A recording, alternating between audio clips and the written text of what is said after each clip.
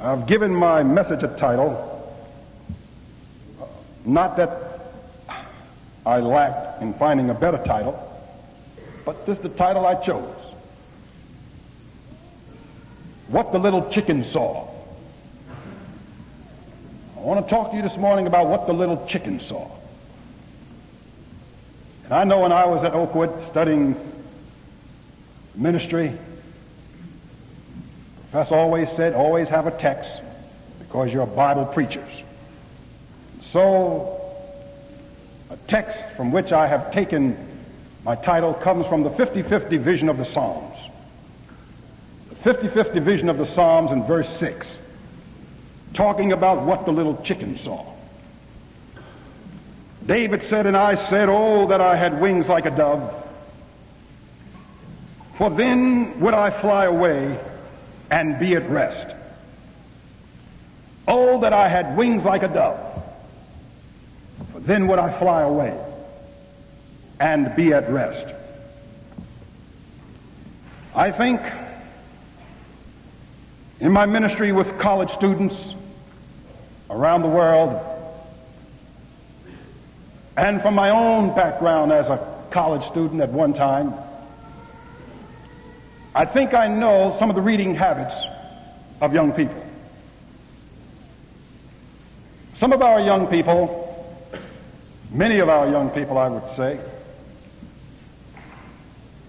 when they pick up the newspaper, they immediately turn past the headlines and the feature stories.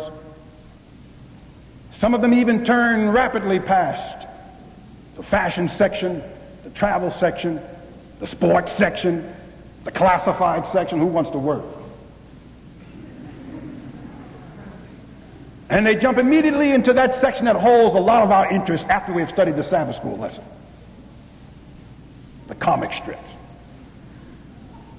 Maybe you can recall with me this one particular comic strip that appeared one Sunday. It was a series of six pictures. The first picture the artist had was the picture of an egg. Huh? The second picture was that same egg cracked with a beak sticking through it. Huh? The third picture, the egg is not only cracked, but it's separated, and the little something within is standing out looking around. Fourth picture, that little fowl looking to the left, looking to the right. Fifth picture, looking to the rear, looking to the front. Sixth picture, he's back inside the egg.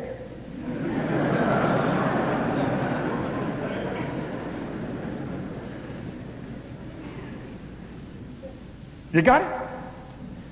Now the artist sat down at his drawing board and he, he said, I'm going to get this message across to those who read this kind of material. The first picture, there was the egg, and the artist had drawn these squiggly lines around it, which said to me, something is inside that egg. And that, whatever it is inside of that egg is anxious to get out of it anxious to get out and be a part of my world, to see what's happening outside of his shell. And the second picture, the little something inside has struggled with all of its infant might and has pushed and shoved and pecked, pecked, pecked, pecked away until finally the eggshell cracked and the beak and the head came through and he sat there. but still feeling the confinement of the shell around him, he stretched his little bitty, pardon me, she stretched her little bitty wings took a deep breath and heaved and shoved and pushed and gave a great big thrust and the egg shell shattered. And fourth picture, third picture, the little fowl standing there. Hi world, here I am. Take a look at me. Are you ready for me? I've been anxious to get here. Finally, at long last, I have arrived. Clap your hands, world. Fourth picture. Look to the left. What? Look to the right. What? Sixth picture. Look behind. I can't believe it. Sixth, fourth, fifth picture. Looked ahead. Sixth picture. Uh-uh, not me. Back inside the shell. What did the little chicken see? While in India, I had the privilege of visiting the orphanage run by Sister Teresa, a fantastic Christian lady who has spent all of her years in mission service in that country in the city of Calcutta, roaming the streets and the back alleys, the roads of the villages, seeking, picking little babies from the garbage, from the sewers, from the dunghills, where they had been placed, left, discarded by their mothers. And as we visited the orphanage. We went inside one building and walked up a flight of stairs and the door was opened to us by one of the ladies who had been at one time found by Sister Teresa on the garbage dump as a baby. And she opened the door to us and she asked us to enter this room, which was a large room filled with baby cribs. And I couldn't believe my eyes when I looked and I saw in those cribs little things, little, little, small. Where did these babies come from? We asked. And one girl said, like us, Pastor. We found them in the streets we found some of them in the gutters. Some of them were covered with flies and maggots. Some of them we found on the dunghill, on the garbage heap. We brought them here. We've washed them. We've cleansed them. We, we, we've fed them. We're trying to bring them back. But every one of those babies I looked upon in those cribs were hovering between life and death, swinging as it was between the grave and shall I live. Little bellies, distended eyes out. Bodies emaciated. But one thing that that will always stay with me was as I look at those babies, so many of them had gone back to the fetal position. The position that they had held while inside their mother's bodies. The position that they had held while inside enjoying the warmth and the comfort but all of a sudden they begin to pick up sounds from the outside. They begin to feel the mother's motions made by her as she moved about. And they begin to build up some anxiety that I've got to get out of here. Something exciting is out there. Something good can happen to me out there. I am not going to stay confined within my mother all these, my life. I'm going to go out there where the action is. I want to go where it's happening. And on the ninth month, the mother gave birth.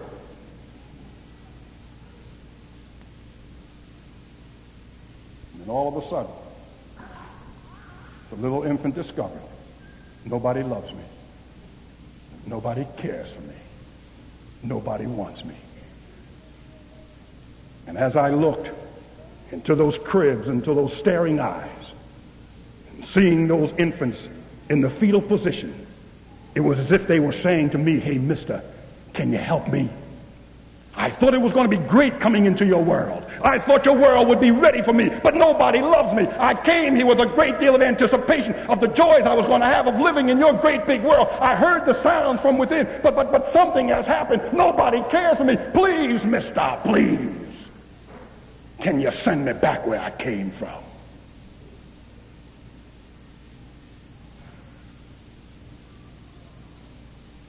My mom and dad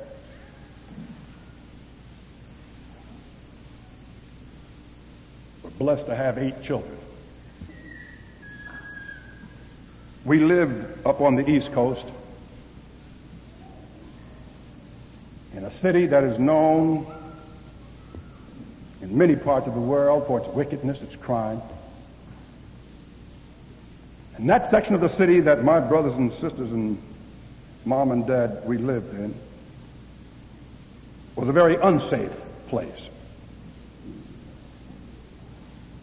But there was one thing about it. The apartment house that we lived in and the apartment that mom and dad made home for their eight children, which was just a two bedroom place with a kitchen and a living room. But come nightfall, my brothers and sisters and myself could go to bed with a sense of security that helped us to sleep all night long. Even those nights when sounds from without would come into our bedroom and wake us up.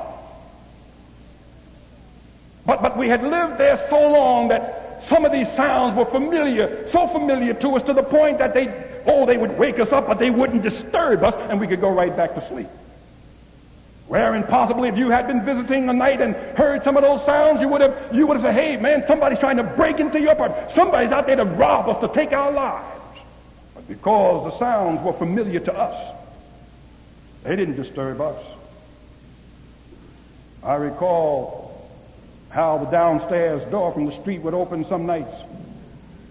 And you'd hear soft voices down there mumbling, whispering. And a visitor in our home would have said, somebody's trying to break in here. Aren't you afraid? But it didn't disturb us because we knew it was the girl who lived downstairs returning home from her date and she and her boyfriend were saying good night in whispery tones. Some nights we'd be lying there in our beds fast asleep when we'd hear the steps creak, give way under the weight of somebody coming up, tiptoeing up those stairs. And then to get to the next floor, they had to walk through our hall and eventually, invariably, they would brush against our door. Sound as if somebody was trying to break the door in. And, and people had been visiting us, they would have said, oh my God, what's happening here? But it didn't disturb us. We'd hear it. But it was not an unfamiliar sound.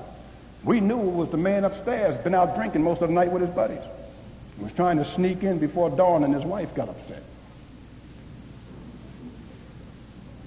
In that little bedroom that we called ours, falling, being fast asleep, some nights we'd hear a high screeching sound and scratching in the wall and running back and forth. It didn't scare us because we knew what it was. It was the rats trying to get in. They were familiar sounds.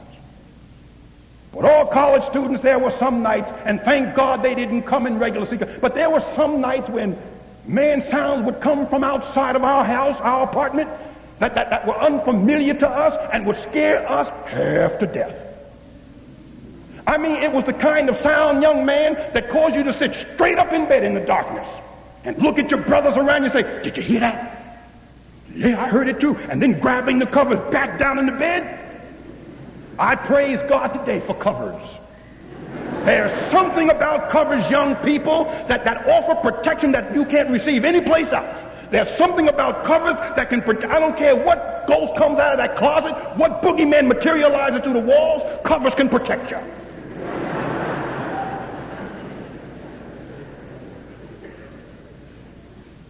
And we'd be under that cover, man, covered up from head to foot, and we'd be whispering to each other, you think it's still there?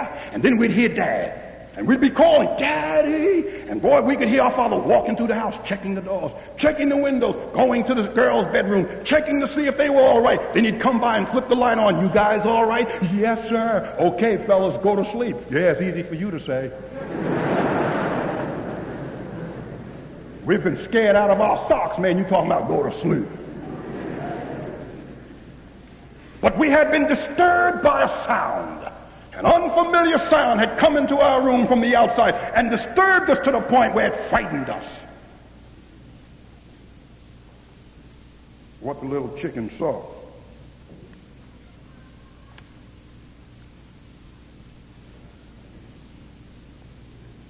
What was it that he saw? It made him withdraw into his shell. What was it those infants in India heard and saw that made them want to go back from wherever it was they came from? What was it? Could it be that that little chicken, like so many college age young people whom I've met on the various campuses of this church and secular universities, that they found themselves having been hatched against a backdrop of world tensions, that they have seen in this hate-filled world a desperate way of life, and with world events as predicted in Matthew chapter 24, have seen those world events stumbling over themselves in rapid su- uh, succession.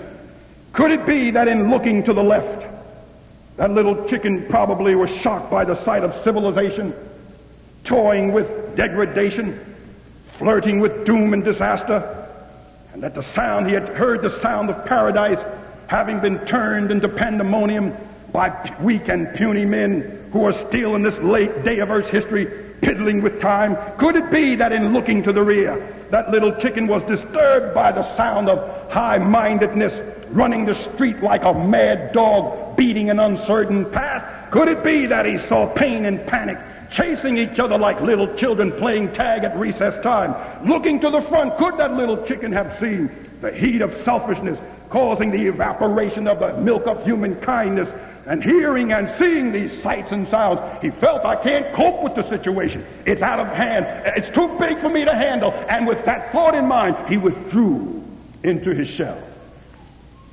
Little child, the infant said, please, mister, if you can, send me back where I came from. I wonder if this similar situation, a similar situation, could have been the reason for the, the, the psalmist writing this text. Here he was, God's man, handpicked by God to lead God's people. Here was a man from his early childhood who could remember having been led by God and having been empowered by God. Nothing out there frightened him. He's sitting on the hillside strumming on his harp or throwing with stones with his slingshot, seeing a bear coming. No bear was too big to frighten him. Man, he knew that he had a power available to him. When the bear came to attack his daddy's sheep, he attacked the bear. When the lion came for his supper, he attacked the lion. Nothing frightened him until one day he looked off to his left and he saw that dark cloud on the horizon. It was threatening in its appearance, but he always thought, it won't come my way because I am who I am. But one day he looked up and that cloud was not only coming near, hadn't drawn not only closer, but had settled over his head. And a torrential downpour of horror and tragedy was let down upon his life to the point where he looked up and his son Absalom, his own son, old Absalom, the son whom he loved, had rebelled against the home, had rebelled against the government of the, of the tribe, had rebelled to the point where he ran off talking about, I'll come back one day, daddy, and I'm going to fix you. That was an uncertain sound. Uncertain to the point where David felt himself withdrawing. And then the next sound he heard that really struck fear in his heart was some of his most trusted soldiers, some of his most trusted citizens were now leaving him and going over to the side of his son. Traitors as much, and so much so into their thing that they were even talking about kill David. And the horror of it all was that uncertain sound that came about when news came to him in his seclusion David, have you heard the latest? Those who have sung before David, Saul has killed his thousands, but David has killed his tens of thousands. They're now saying, kill David. We don't need him as our king. He's not worthy to lead us. We don't need such a person as he. Follow his son. His son will bring us the liberty and victory. And when David heard that in the 55th Psalm, it says it brought horror to him. The terrors of death fell upon him to the point where he backed up in this retreat like fortress and he cried out, Oh God! Oh God, if I only had wings like a dove! I don't like what I'm hearing. I don't like what I'm seeing. If I could just fly, Lord, if I could just fly, I'd be away from all of this stuff.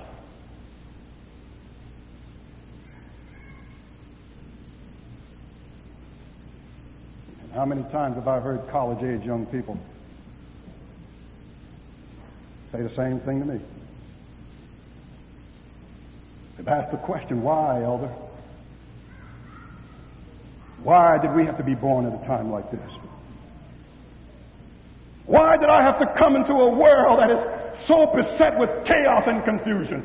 Why, Elder, with what's happening in the world today? Why, why? I'm disturbed by the sights. I'm disturbed by the sounds. Why would we have to be born? Why would we have to live? Why do we have to talk about Christianity at such a time as this? When everything is going haywire, when everything is about to blow up in our faces. Why, Elder?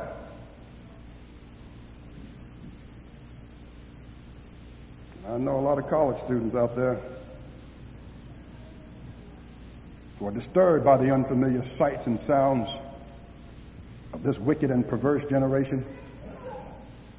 I know many of you seated here disturbed. You've come from your homes to this campus seeking a Christian education to be trained by dedicated Christian teachers to live the good life, to make preparation for the life to come, and in the meantime to exist in this life. I know. But at the same time, some of you sit here this morning and you're disturbed. Among other things, you're disturbed by this escalating inflation. You're disturbed by the increase of crime and violence that seems to go unchecked in our nation. Some of you sit out there this morning and you're disturbed by the breakdown of the home. Young lady came to me and she looked so bad and I said, what's the matter? She said, Elder Barron, would you believe? that after 31 years of marriage, my mother and father split up last night in this church. Some of you have gone through that. You sit here this morning disturbed by the elitist crowd in the White House who, as millionaires, are proving that they cannot govern in the interest of all people and disturb some of us. I know you're disturbed out there by the scrapping of human rights for national interest. College students have talked to me about being disturbed by the talk of cutbacks to minority students and minority groups. I know you're disturbed out there by the freedom given to the hate groups who go about spitting out their vitriolic hatred of minorities all over the sidewalks of life. I know some of you are disturbed out there by the talk of the, this new MX warhead and the, the Defense Department's great increase in its budgets to develop this warhead that upon explosion will destroy all of human life and leave building and properties intact. I know that disturbs you. Some of you are disturbed by the sound how every 10 babies born, one dies within 12 months of life, dies a victim of disease, starvation, underdevelopment, poverty, and other preventable causes. I know it disturbs you. And I know I've found so many young people disturbed by what's happening in our society that they find life for themselves unbearable. I just can't cope, Elder.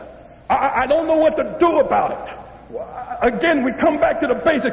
Why did I have to be born at such a time as this? If God is all knowing and all understanding, if God has all power, why couldn't He prevent my having been born at a time like this?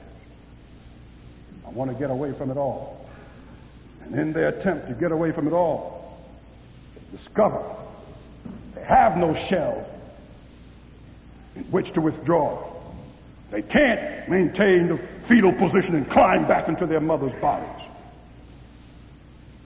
They have no wings on which to fly. But oh, we have some smart people on our campuses. If I can't fly into my own power, I know there are substances abounding that'll help me to fly.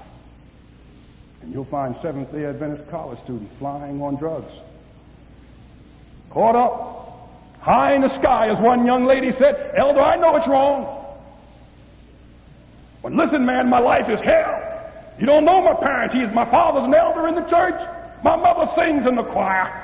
But the way they fight and fight among themselves, my, my, my whole life is a garbage dump, and I smoke this stuff because it takes me away to instant paradise. One young man tripping heavily on acid LSD. Man, don't you know it's wrong? Don't you know it's bad for you? I know all that. I'm not stupid, Elder. I've researched this stuff. But it helps me to get away. It takes me up. And I asked him on one of his trips, how high had you gotten? He said, I've been to the very throne room of God. Young people in this church, we know you have problems. You are people geared to the times. We know you have problems. We know you have problems. We know you have problems.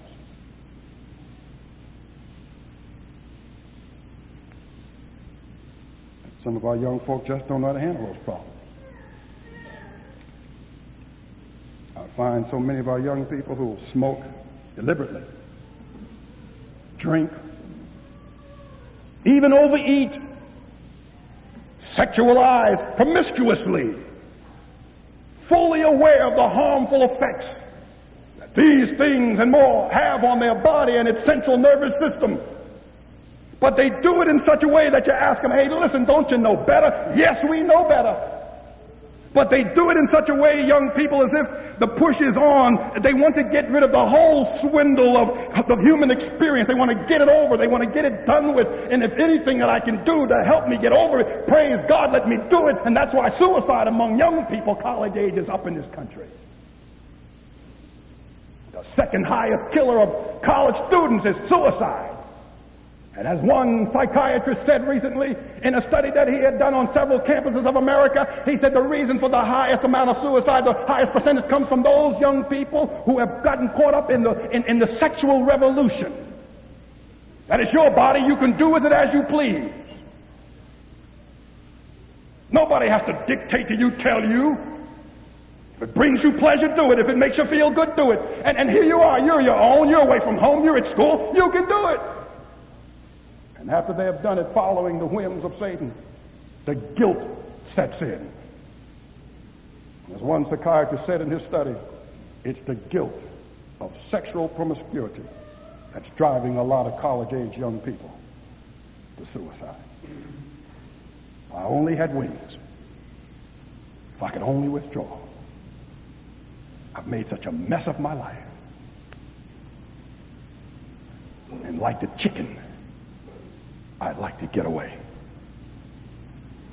But I thank God that even though we are people geared for the times, we have an anchor.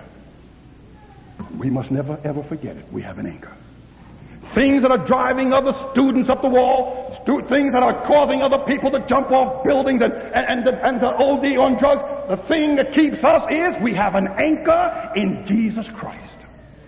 We are the children of the coming King. And even though we live down here amidst the degradation and the sinfulness of these days, I thank God that even though I, my address is down the street, my home is in heaven.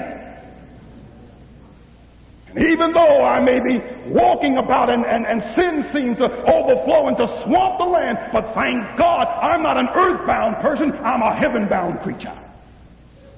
And young people, you must never ever forget that. We're not chickens. We're not afraid of the future. We're not afraid of what the future holds. We know who holds the future, and that's what keeps us going. This school year, you're into the first month of it, I understand. Hardships await you, trials are out there. People are on this campus whom you thought were Seventh day Adventist Christians in every sense of the word. They're going to disappoint you this year.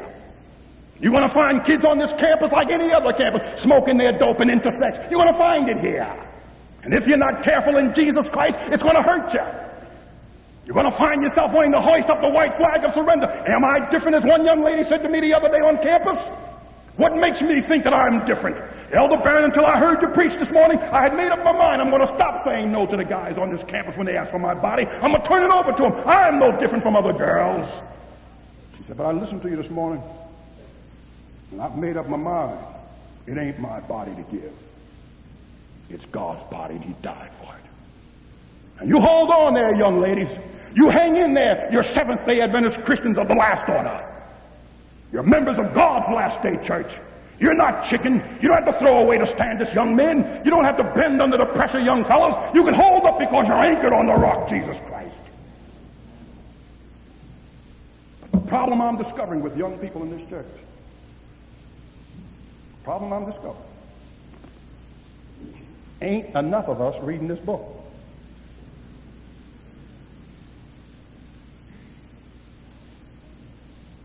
The problem with so many of us, why we can sit in the dorm and cry the blues, why we can act all hurt because she quit me and he turned me down. I can't understand why God didn't send my money on time. The reason why we can do that because we're not in the book. You may be a people geared for the time, but you're no good to the times if you're not studying the Word of God as it's written to you. And young folks, that's something we must get back to. That's reading the Bible. We've got to get back into the book, young people. If God's cause on this earth is to be a success, if it's going to be effective in our life and the lives of others who know not Jesus at this time, we must get back into the book. And if you don't get into the book, your life is going to be a sorry mess. You're going to end up like some chicken. Oh, if I had wings like a dove, or if I could just find a shell, if I could just fly somewhere, I could get away from it all, but you don't get away. That boy talking about on his acid trip, he went as high as the throne room of God, and when I saw him, he was riding in my car. Which says to me the law of physics still holds true. What goes up must come down. Well, let me tell you something, young lady. You become anchored in the book, the Word of God. And let me tell you something, your soul will rise. Your soul will rise. Your spirit will harbor, go up above the sights and sounds of this old world that would disturb you, that would bring fear to your heart. You get into this book, and you'll discover for yourself that your God is your protection. That you don't need to run, you don't need to fret, you don't need to hide. You have no fear of the future because you know that God is with you, that God is in you, that God will keep you. And if you're going to have a good school year and make SMC this year the campus that God ordained it to be, you've got to get into this book and put into practice what you read in this book. The promises of the Lord are sure. Get into the book and find the promise for yourself and lay claim to that promise. And like Jacob said when wrestling with the angel that night, God, I'm not going to let you go until you fulfill that promise in my life. And some of you need a promise right now. Some of you seated out here this morning up there in that balcony, you need a promise right now. You're hurting. Already this early in the school year, some of you have already called home talking about, I'm going, I'm coming home. Some of you are already so disappointed. You've made up your minds. I'm going to drop out as soon as I can. Some of you are hurting here this morning. But let me tell you something. You don't have to run home. Run to the book and to the God of the book. It'll bring permanence and stability to your life. It'll keep you when all others fail you. It'll establish you when all others have disappointed you. Thy word is a lamp unto my feet. It's a light unto my path. When others walking around in this world that's grown, that's overcome with darkness, gross darkness to people, eh, they can't see their way, but thank God because I'm in the book. It shines like a light. It shines like a lamp. It shows me where I'm going. It tells me how to get there and it will help me to get there the right way. Read the book, young people. You don't know what you're missing when you don't. I was visiting in one penitentiary, and there was one inmate, an older man, caught my attention each time I was visit. I had 84 lifers I used to meet with on Wednesday nights. And this was the third worst penitentiary in this country. And I can remember sitting, but I'd watch him. He'd never sat down. He just walked. And finally, I said to one of the inmates who was doing a double life sentence, I said, hey, something, something, something about that fellow. He said, big preacher, don't let it worry you. But I couldn't help but watch him. And one thing that stood out with me, he had a bulge in his right pocket. And that bulge bothered me also. Because I know inmates in that joint, in that, in that penitentiary, were not able to carry too much. Because the officers knew they could take nothing and make something out of it to get out of there. And I said, uh, I'm bothered. What's, what's, in his pocket? He said, Big Preach, why don't you talk to him? He was one of the best evangelists that this country had seen in a long time. But what in the world are you doing in here, man? He said, man, when I would stand up to preach, People came by the thousands to hear me. And finally, I got so good I didn't need the Bible. And when I put the Bible down, I stopped praying. And I lost my grip. And I'm in here now for the rest of my life. Extreme case, yes. But young people, eternal life is staring us in the face. Eternal death is beckoning to us. You have a decision to make. Are people geared to the times? If you're not anchored to the book, the times will cause you to lose out on what God has gone to prepare for you. And it's not fair to him. It's not fair to your friends who are watching you. It's not fair to family who is back home praying for you. It's not fair to those who have sacrificed to get you here. It's not even fair to you. Last but not least, it's not fair to him who died on Calvary to make our being here possible. Young people, get into the book because you're not immune from these changing times. You're not immune from the violence and the disorder around you. You're not immune from the prejudices and the hate. You're not immune from the wickedness and the degradation. You're not immune from it. And the only way you can establish yourself, the only way you can be what God would have you to be, the only way you can have the preparation, the restoration of Jesus Christ's image in you, you've got to get back into the book. You must get back into the book. Take this book, young people. It's your roadmap through this maze of life into his soon coming kingdom. It's the picture of him revealed to you. And by beholding, we'll become changed.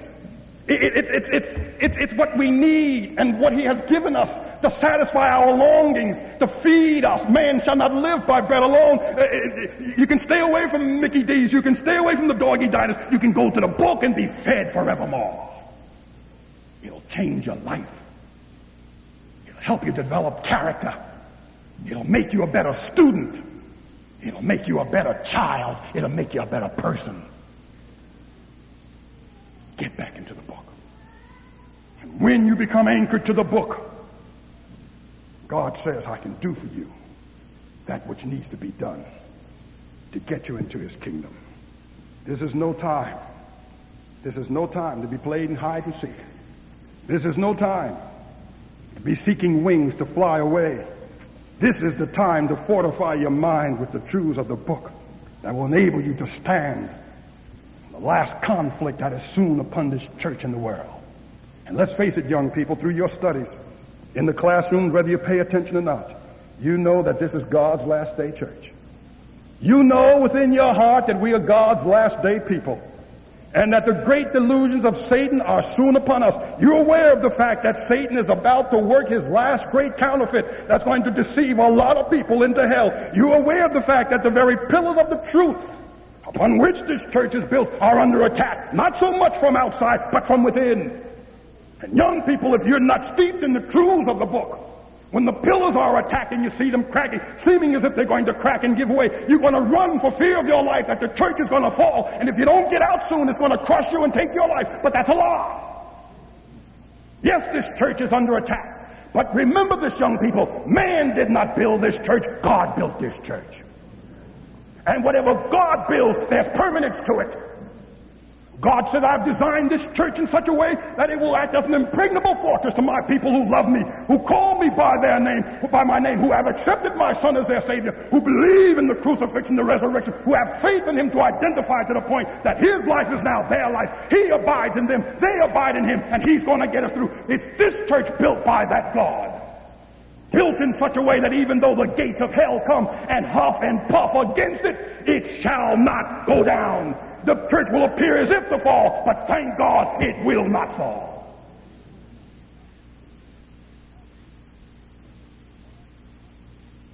People of the times, but people of God. And that's what makes the difference. Stay in this church, young people. I don't care what you hear. The controversies are waging fast and furious. Somebody believes this, somebody's teaching against that. You get into the book and find out for yourself what God wants you to do.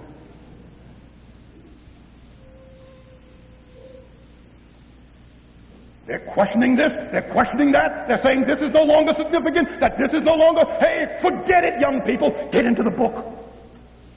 One young man in one country said to me just recently, he said, Elder Barron, I'm so glad to see you. He said, I'm so confused. I said, confused about what? What do we stand for? I don't know. I'm so mixed up. I don't know what to do. I said, well, what do you think has brought about this confusion? He said, well, I'm listening to so-and-so's tapes and I'm, I'm reading so-and-so's papers. I said, man, there's your confusion. Try reading the Bible in the spirit of prophecy.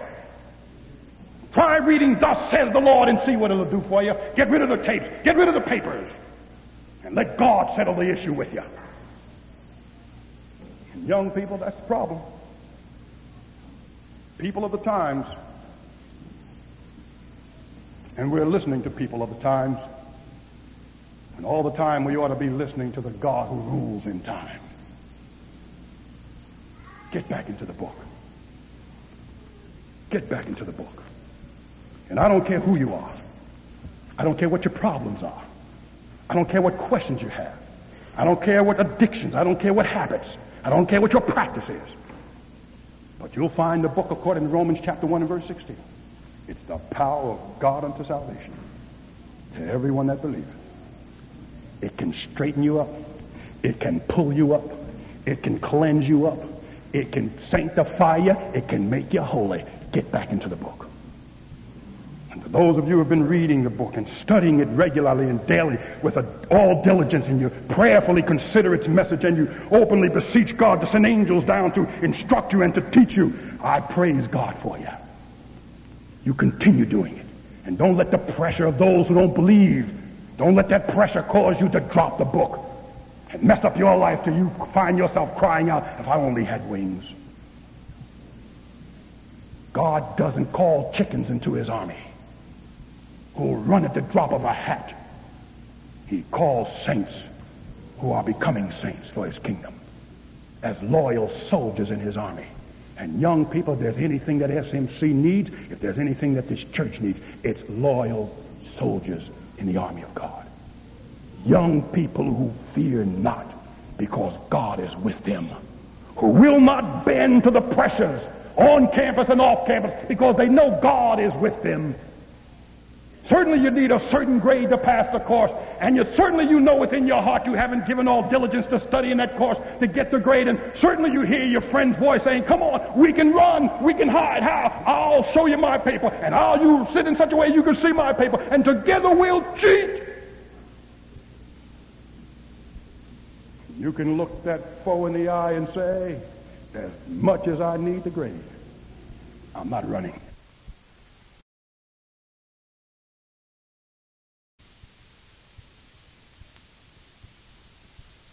Words do I meditate?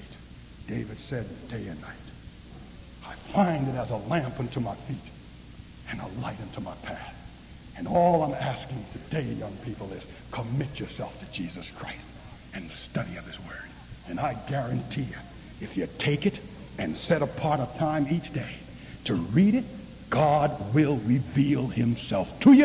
And when you put it down, you'll walk away with a strength you never knew possible. You'll walk away with a power that you never knew available to resist the devil so that he'll flee from you and you can maintain as a Christian on this campus, off this campus, wherever your lot may be. It's up to you. You have that decision to make. And I'm praying that God will give you a clear vision God will give you the power to make the right decision that will outlast eternity. You can be with God forever. A day is coming, young people, and I'm not ashamed to preach about it. I believe in the second coming of Christ with all of my heart. I believe he's coming, and I believe he's coming soon. Regardless of how soon soon is, but I believe he's coming. And I preach today with the urgency I preached when I first became a preacher. And I believe today the way I believe when my mother first taught me. But let me tell you something, young people. It's gotten out of hand somewhere where, where it's not going to happen. It's not what the preachers try to make it to be. But let me tell you, a day is coming when he that shall come will come to redeem his people from the earth. A day is coming when a time of trouble is going to be such as the world has never seen, and only those will stick, only those will stay by, only those will handle the stuff are those who have found permanence for their life in the book, those who have been anchored to the book, those who have been implanted on the rock, Jesus Christ. Only those will outlast, only those will endure, and only those will Jesus call. Come, ye blessed of my Father. Inherit the kingdom I've prepared for you. Let me tell you something, young people. He's preparing a place especially for you. He's, a, he's preparing a place, yeah, for you too. Your name is on the door. The latch fits your hand. God says, I know what you're going through down there. I'm not asleep. I'm not, I'm not unconscious. I, I'm not insensitive to you. I know what you're doing, but hang in there. I'll get you through the school year. I'll get you through the semester. Hang in there. My truth will carry you through. Hang in there. I've got angels who excel in might and power to surround you and protect you from all the evil that Satan could heap upon you. Just stay in there. You don't need to fly. A day is coming when you won't need wings, but I'm going to take you away from it all. Just trust me. Let your faith be of such that you'll have confidence in me. Be confident of this one thing, Philippians chapter 1 and verse 6. He who started this good thing in you, he can bring it to fruition. Philippians chapter 4, verse 13, we can do all things through Christ, which strengthens us, even resisting the devil in the name of Jesus Christ. What do you say, young people? We were known at one time as the people of the book. Let's get back to the book. Let's surrender our lives to Jesus. Let's turn ourselves completely into his hands. Let him control us and see how this school year ends up. He says in Malachi chapter 4, prove me. Prove me now herewith and see if I can't say, see if I can't do what I say I can do. Prove me. Go into the book and find the promise. You know your needs. You know your problems. You know the questions to which you're seeking answers. All right, get into the book and see if I can't do it for you. If I can't, you've got me. But let me tell you, I don't know of anybody in the world who can look at God this morning and say, gotcha. Looking at Calvary, I know God can look at me and say, gotcha. What about it, young lady? What about it, young man? Can you trust him? Will you try one more time to surrender your life? This is commitment weekend at SMC. Can we do have a public demonstration of commitment? I'm not talking about a mass movement of people. I'm talking about that college student you're reflecting now. Boy, this summer was a bummer. Somebody here this morning could be here hiding out. I don't know. Somebody here has tried to fly away from it all. I don't know. But maybe you'd like to just publicly come to the altar this morning with your heart open to Jesus saying, God, I'm sorry. Take me back. And let me tell you something right now from the get-go. He will receive you unto himself. He will in no wise cast you out. I don't care where you've been, what you've done. God says, come unto me, all ye who have tried to fly on your own. Come to me. I'll give you whatever it is you need, beginning with forgiveness. Just come to me. Is there such a person in this auditorium this morning? You'd like to get out of your seat, whether you're in the balcony on the main floor, and come down to the altar and recommit your life to Jesus Christ. Is there such a person? I wait for you. I wait for you. You know who you are. Can I get my pastors to come down on the floor and have these folks just stand facing the altar, open their heart doors, talk to Jesus? Would you come? Would you come? You played the chicken this summer. Probably even played the chicken last school year, acting like a little baby. But now you, by God's grace and the power of the Holy Spirit in you, you're going to pull it together. Would you come? Would you come to recommit your life? You pastors come down on the floor, please? I know these young folk are coming for Jesus. Bless your heart. Just touch them for Jesus, brethren. Touch them for Jesus. Just come as you are. Just come as you are. Don't want to know what you've done or where you've been. Just thanking God that the Holy Spirit is still striving with you. Would you come? Saying all to Jesus, I surrender. Pastor Liv say, go up and meet this young lady coming down. The other PA, meet those young folk coming over that way. Bless your heart. Bless your heart. Bless your heart.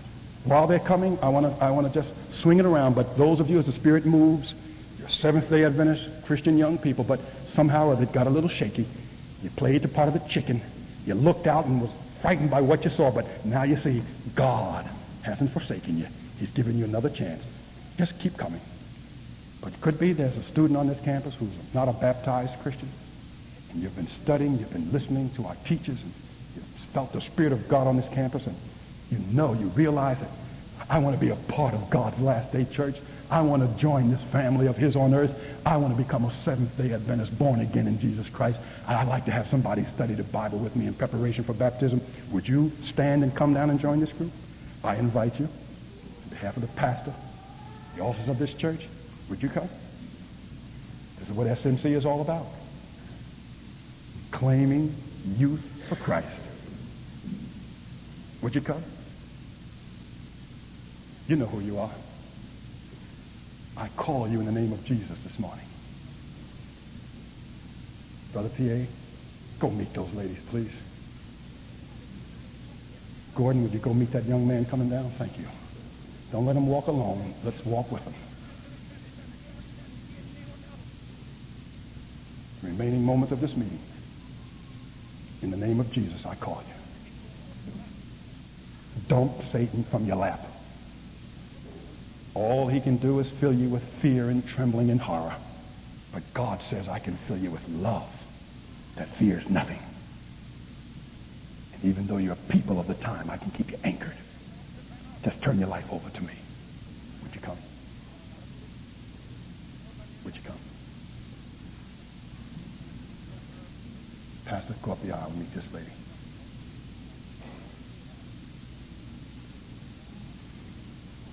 Will you come? Thank you, Wally.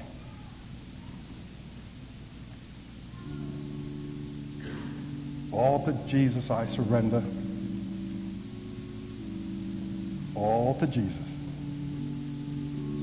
All to Jesus. All to Jesus. And let me tell you something. I'm not stupid. I know it's not easy. I know it's not easy. But you're doing it. And God hasn't left you to do it alone. Bless your heart. From way up in the balcony, they've come. Thank the Lord for you. I praise God for what he's doing here this morning. God bless you, sweetheart. You made it, man. Bless your heart. Take your time, folk. Take your time. Those of you who are out there and have a sweet connection with Jesus, I want you to pray. Don't bow your heads. Don't close your eyes. Just pray. I want you to see God work here this morning. But pray in your hearts. You teachers out there, you've been carrying a special burden for a certain student. I want you to pray for that student with your eyes open. Let's see if God answer that prayer this morning. Let's see if he'll answer that prayer this morning. And if he chooses not to do so this morning, keep on praying for that student. Wally, there's a lady coming down center. Bless your heart. Bless your heart. Bless your heart. I praise God for you. I praise God for you. No chickens in this crowd. Not running for fear. No longer withdrawing. Going to Jesus.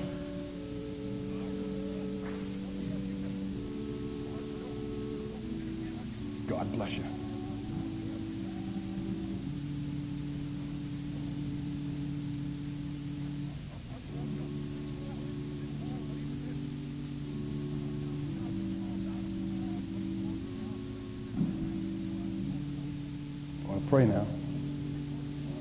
I've been praying all the while, though. I guess you can tell, I can't you? I love you. I want you to know God loves you too. He sees beyond the tears, fellas.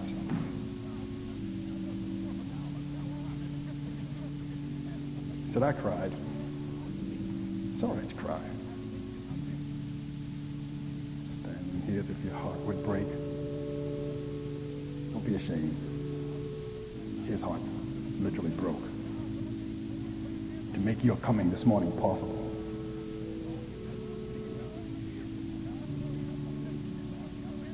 And you stand here this morning with the full assurance, I guarantee it, that this God of John 3.16 is standing very close to you right now. Very close. And he's going to do for you exactly as he says in John, 1 John 1 9. Confess your sin, and you'll find him faithful and just to forgive you of those sins and cleanse you from all unrighteousness. And then he says, I will let you become partakers of my divine nature. Of my divine nature. That will enable you through divine enablings to live the whole Christian life. But remember this, you're a people geared to the times. which means the devil is going to renew his attack on your life. That rotten demon, that no... Let me tell you something. He's going to pull tricks out of his bag that you never thought existed to get you back from where you came from this morning. But remember this, young folk. Remember this. God says in 1 John chapter 2, I would that you never sin again. I want you to live the sinless life. But Satan's going to try to come and discourage you, cause you to slip and fall, and sin. Then he's going to say, you can't make it. I told you, you wasted your time. You can't make it. But remember this, the rest of the text. If you do sin, remember, you have an advocate with the Father, Jesus Christ our righteousness. And when you feel yourself going, cry out, oh God, have mercy on me. Please forgive me. And at that very instant, Jesus Christ, because of what he did for us on Calvary, will cry out to the Father, forgive him. Let my blood cover the big mess up. And then get up, young man. Get up, girl. And by the power of God, turn away from that sin and keep on trucking to the kingdom. We can make it because God in us has made it. There's a place up there for us. And I don't want anybody inhabiting my place. Live the good life in Jesus and share the good news with others on this campus. And when it comes to the issue, when it comes to the fork, don't chicken out. Stand like the brave with your face to the foe and resist him in the name of Jesus who died for you and made this whole thing possible. You got that? Bless your heart. Bless your heart.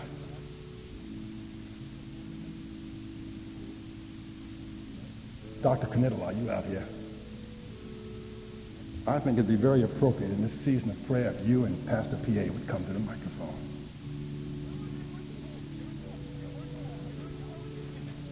And I think, brethren, we ought to have a season of prayer. And Jim, I'm going to ask you to come on up and, as chaplain of this school, pray in my stead. Dr. Knittel, these are our young people. I know the four of us feel very close with these young youth directors down here on the floor. And I think, brethren, we ought to just pray this morning. I'm going to ask you, Dr. Knittel, if you pray first, and we'll just follow in time, okay? Our Father in heaven, our hearts are touched this morning as we realize again our dependence upon Thee, and especially the love that Thou hast for each one of us. This love has brought us together here. This love has brought this group forward around this altar this hour. And your love will sustain them. Your love will comfort all of us. Cause us to love one another. And Lord, we claim the promise that you will work miracles in our lives. And we pray for those miracles as we are here at this time in thy name. Amen.